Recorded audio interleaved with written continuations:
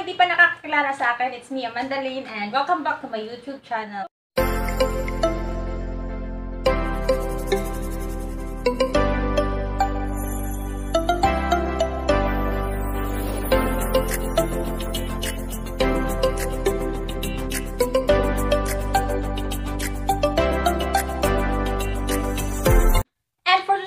Video guys is mag-uukay-ukay haul na naman ako. Super tagal ko nang hindi nakapag-haul guys. So natatambak na yung mga nabili ko. Lapit ko lang sa ukay-ukay at halos everyday dumadaan kami doon. So sa video ngayon, ang ipapakita ko sa inyo is yung nabili ko na tig sa 10 lang. Tig 10 NT dito sa Taiwan guys.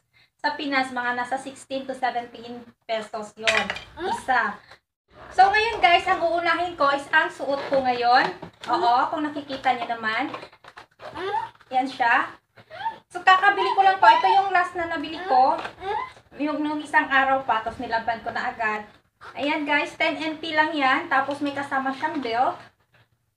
Tapos may short din siya sa loob. Wala tong brand guys. Kaso, wala itong brand. Tapos, yung belt niya, ginawa ko na ding headband. Ayan. And so, for the next one guys, is ito. Yan. Ano siya? Denim. Oh, denim. Pero soft yung cloth niya. And skirt siya, skirt. Dress. Yan.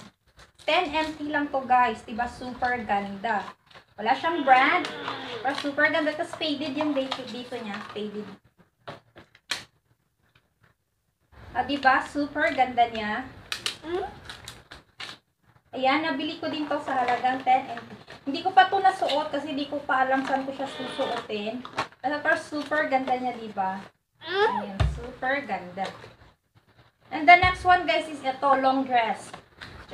May ganitong style na ako, guys, kaso iba ang kulay. Tapos ito naman, alam ko kasi sabi ko, hindi ko siya bibilhin kasi nga may ganitong style na ako. So, hihinayang kasi ako kasi 10 MT lang siya, tapos super ganda pa.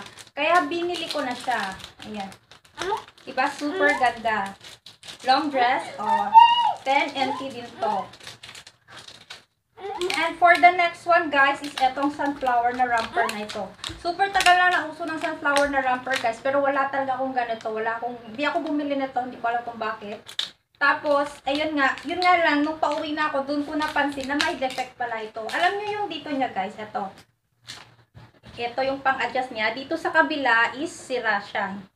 So, ang ginawa ko, tinahi ko na lang to. Ayan, tinahi ko na siya na kung ano yung size meron ko. Kasi hindi naman siya halata. Ayun. Super cute nito. Nasuot ko na to nung gumala kami, nagsaitong kami. Yun, suot ko na siya. Ayan. Sunflower. Tapos, may short siya sa loob. Tapos, most, mostly nito guys, mga made in Korea. Ito, Naka-Chinese ang lagay guys, tapos pa, fa fashion. Fashion lang ang nakalagay.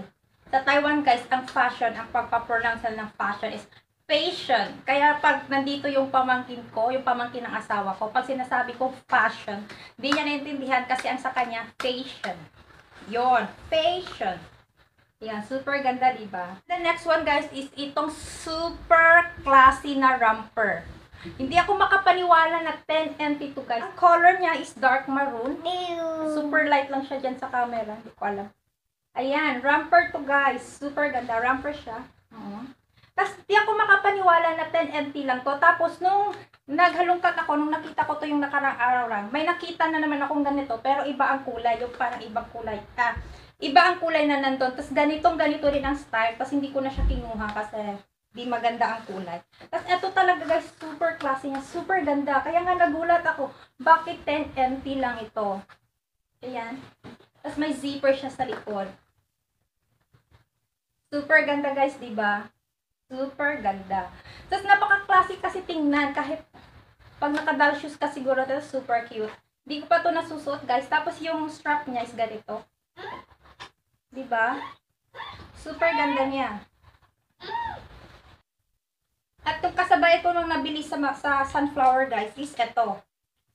Nung una hindi ko siya, nung una hindi ko pa siya masyadong chinek kung ano siya. Basta romper din. Tapos gray ang kulay. Medyo makapal lang ang tela niya. Ito may bulsa. Kaya nung nakita ko ang brand niya, kinuha ko siya kasi ang brand niya is pasok. Ayun. So, ayan guys. 10 NT lang to, di ba? 16 pesos. Super ganda. Ganito siya sa likod. Tapos, mas may adjustable din. Tapos, akala ko nga, pwede siyang pang breastfeed. Wala pala. Close pala dito. Style niya lang talaga na ganito. Yan. Tapos, gray ang kulay niya.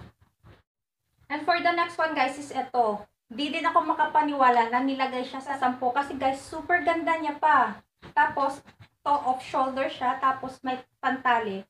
Kaso di ko alam saan ang harap at likod. Kaya kung susuotin ko to, ilalagay ko sa likod tong tali na to. Kasi pag nasa harap pa guys, super sexy na niya tignan.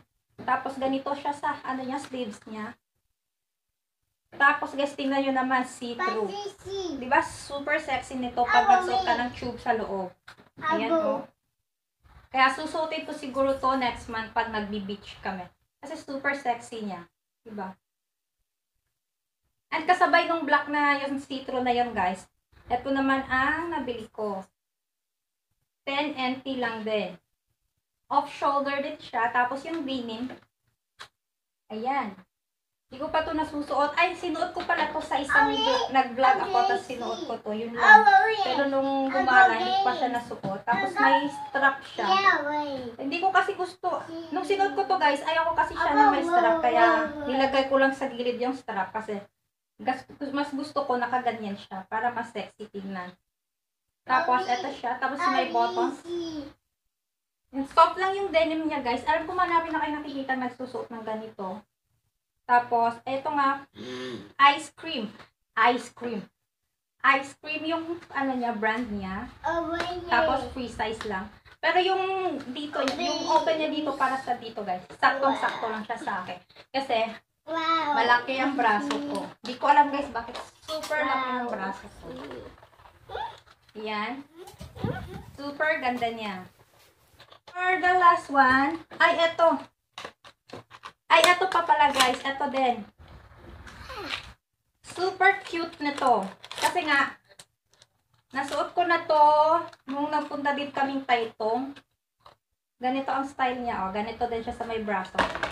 Kala ko nga hindi siya magkakasya sa akin, guys. Pero kasya pala kasi garterize siya dito. Tapos, may zipper siya dito sa gilid. Tapos, ang brand niya is The Girl. The Girl Who. The Girl Who made in Korea, guys. Ayan, ganito ang style niya. Akala ko nga pambata, guys, eh. Pero nung sinuot ko naman sa akin, kasya sa akin. Kaya, ayun. Nasuot ko na to nung nagpunta kaming Taiko. 10 empty lang ganito, guys. Alam nyo guys, super dami ko pang nabiling ukay-ukay. Tapos yung iba, iba ang price. So, sa next vlog, pag nagkaroon ako ng madaming time, ano, iba-vlog ko din yon Kasi medyo marami na din akong naipon. Kahilig ko talagang pumunta sa ukay-ukay guys. Kasi nga, kinitsyempo ko kung may mga take to 10 NT.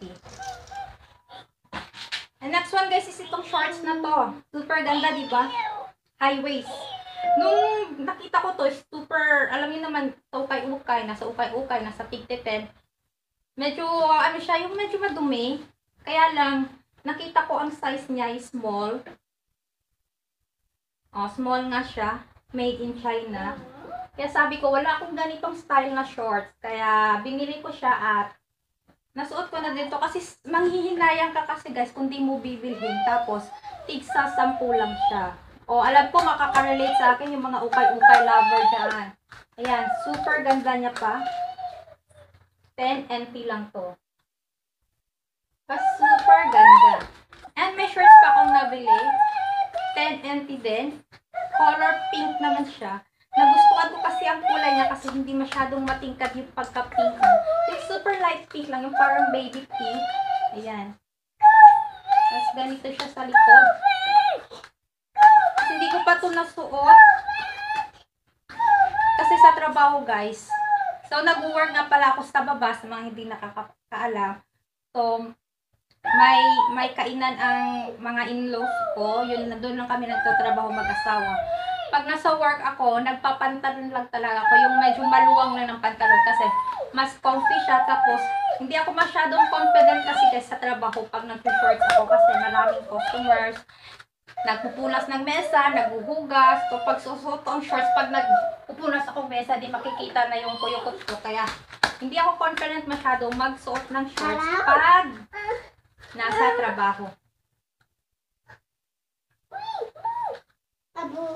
Last one guys, is itong t-shirt na to. So last na to, pang ilan na ba to, di ko na alam.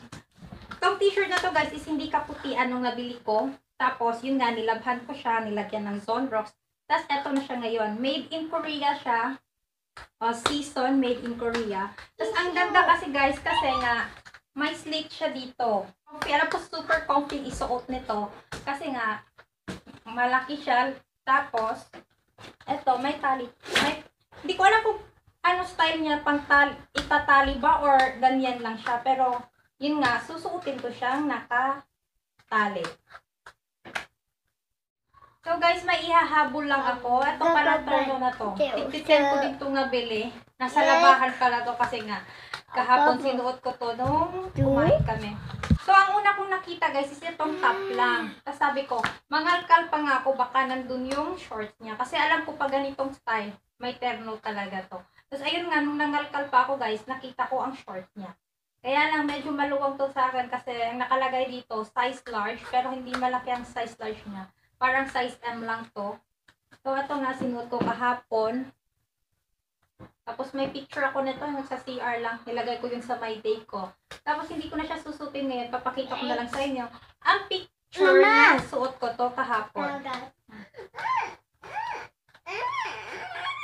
And that's all for today's video, guys. Napakita ko na sa inyo ang lahat ng ukay-ukay na nabili ko na tig 10 NT lang. Kaya sana nag-enjoy kayo sa video na ito at kaya huwag sanang kalimutan mag-like at subscribe sa aking YouTube channel.